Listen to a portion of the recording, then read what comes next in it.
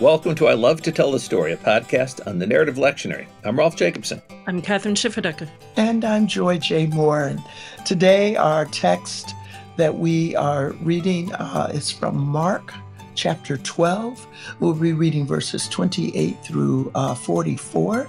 Um, we've uh, just, uh, as we've moved through Mark's quick, dramatic gospel, where um, the pacing is quick because uh, we just move from scene to scene and interaction to interaction. Um, we've had Jesus interacting with the uh, Pharisees, um, and um, we move uh, to uh, here in uh, verse 12, where uh, the scribes come, and we are basically looking at the various um, um, uh, disagreements or uh, questioning and how uh, Jesus is going to handle all of the disputes that come before him. And he does that, as we've seen, uh, through parables. And uh, in this particular case, um, one of the scribes is going to ask him a question. Many of us are quite familiar with this, uh, where um, it, it returns to what we know as the Great Commandment, which is why this section is named that way. But our, our reading will continue beyond this. Um, but uh, um, I'm always uh, thrilled with uh, how we read this text or how this text is presented to us because uh, Jesus responds by saying, You're not far from the kingdom of God. What is, what is in this text that causes Jesus to respond this way? Well, a question is asked by one who should know. And when they're asked, they give the right answer. Um, uh, Hear, O Israel, the Lord, uh, if uh, our God is one God, the Shema, the very familiar response of a practicing uh, Jew. And then to go on and to uh, uh, say that um, uh, what I like to call the Reader's Digest version. If there's anybody who would know the short answer to all that God has command, commanded, it would be Jesus. So the Reader, Reader's Digest version goes to say it's loving God with all that you are and to love your neighbor as yourself. So the first uh, four verses, uh, first four commandments, and then the last six commandments loving God and then loving neighbor. And the uh, scribe says, "Okay, yeah, got that," um, and uh, and then goes on to say, "This is much more important than all of the acts of worship, the rituals and practices." And it is to that that Jesus says, "You're not far from the kingdom of God."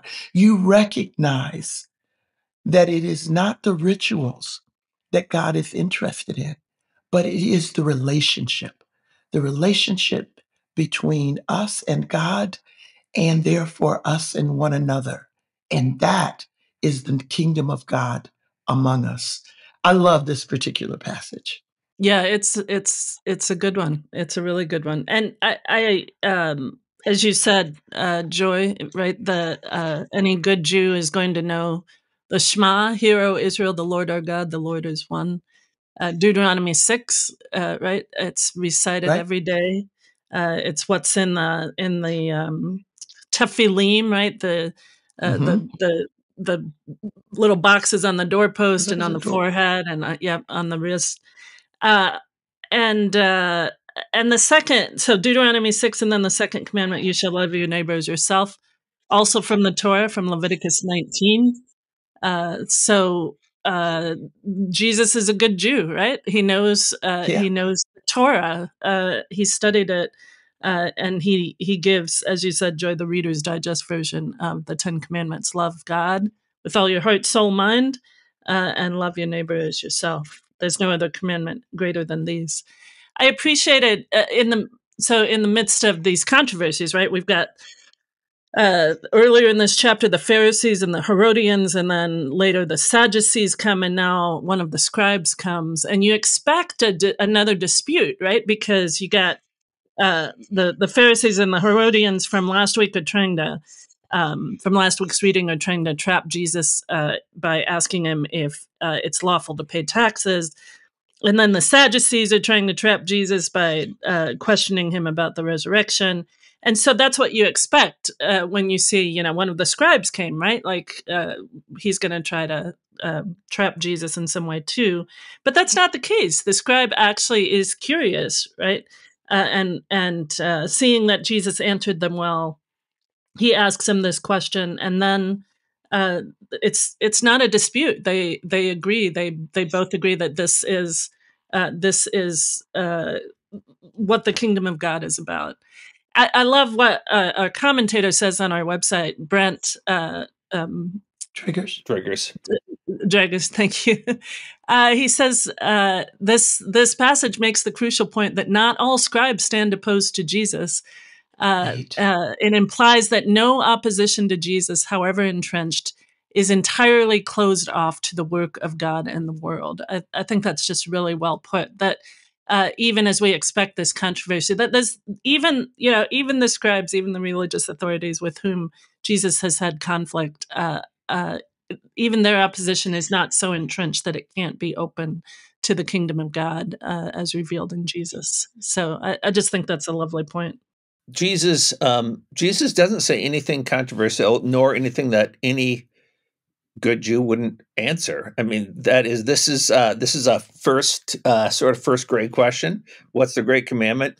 This, uh, the great Shema is the positive version of the first commandment. First commandment: You shall have no other gods. The positive version: Love the Lord your God. Love the Lord your God. I do think mm-hmm. that uh, there's a lot to build on here in terms of just uh, what we share with Judaism. And there's really finally, in the end, then only two sins failure to love God and failure to love the neighbor. And they have an infinite degree of variety in the ways that we fail to love God and that especially we fail to love the neighbor. As it's if it ended there, you're not far from the kingdom of God. After that, they dared ask him no other question, we'd be in good shape. But as the text goes, then it's Jesus who sort of escalates it. Jesus sort of escalates the controversy by pointing to a woman who is, um, I got to make sure I'm doing this the right way, right? So, uh, because the reading here goes all the way through verse 44, and then you have in verse 41, um, he sits down opposite the treasury and he watches a woman put in two coins, and she, uh, he basically starts to attack the temple. Hmm. And uh, especially as he continues to go further, that all of this is occurring in, in, the shadow of the temple. And implied in this controversy, when it's all these two things, loving God and loving neighbor, are worth more than all offerings, that um, and this is i think goes uh, to the uh, this is consistent with the old testament when psalm 50 in psalm 50 god says hey i don't need an offering from you um, if i needed a bull from your house uh, i'd tell you i don't need it. Um, and so there is something here as we approach holy week in lent that is a call to us to recognize that our religious structures i don't, I don't know what preacher's going to do with this but uh, to recognize that as necessary as our religious structures are, which require offerings and sacrifices and generosity, um, they we always run the risk of starting to think that the perpetuation of the institution is more important than loving God and loving neighbor. I appreciate that, uh, particularly um, in this season right now, where there's so much um, uh, desire to preserve institutions, uh, and um, we're uh, guilty of that in uh, in our among our denominations and and within our congregations, and uh, that, that's that's um, I, I, appreciate the simplicity of the way that you said that, Rolf, and it's con- it's um, it's in continuity with what we have in these texts, um, where um, the scribes of this sort of goes along with what we were talking about last week in terms of you know being Uh, why are we doing this? Do we remember that it is bearing witness to God, not for our own prosperity or our own popularity? So here we have uh, just before uh, Jesus makes the statement of, of the woman or, or points out this woman. Um, beware of the scribes who walk around in their long robes to be greeted with respect. Um, that here is that uh, putting up ourselves um, and also this idea of getting the best seats or the place of honor that's a different kind of ritual. We don't just have rituals in the church in the way that we carry out our worship. We have customs and practices in our society so everyone is not a professional religious person who calls themselves a follower of christ and yet we too have to be careful about why are we practicing the rituals that our culture enables us to practice. Are we doing that to make a name for ourselves? Or are we doing that so that we point to the presence of God? And when we are pointing to the presence of God, it's going to look like loving God and loving neighbor. And when we are not, it's going to look like positioning ourselves. And it's really interesting that here Jesus points to a woman, a, wid- a widow, and just to be clear, a poor widow. And yet, in her offering, it is clearly an offering to God from all that she has. She holds back nothing.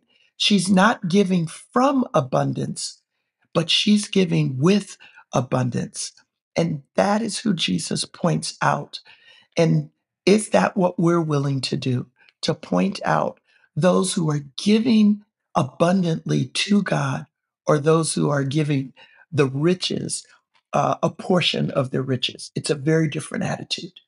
Yeah, uh, uh, that's really really helpful, Joy. Thank you for that. I, I, that that text right before the widow's offering, right, that you mentioned. Beware of the scribes who like to walk around in long robes, be greeted with respect in the marketplaces, have the best seats in the synagogues, and yet they devour widows' houses, and for the sake of appearance, say long prayers. I think you're right. I mean, and uh, you know, it is a natural human inclination, right, to want the best seats the the court side seats, right, or the or the head Yeah. the, the the head table or whatever. All right, now But you get you getting too close to home now. yeah, it's uh, eh, but it's exacerbated. I think it's amplified. Maybe that's a better word for in our time and place, right, where where we want our brand, right? Where we promote our our personal brand, right? Where where we have our social media likes and friends and you know, the it's just Yeah. so easy to feed that ego, right? And uh it's such a temptation and and yet as you say, we're called not to that kind of acclaim, not not that kind of human attention, but to to love God and love neighbor and to give uh, to give generously, uh, not for show, right? Not so that people notice, but to give uh, for the sake of uh, of the neighbor and and for the sake of loving God and loving neighbor.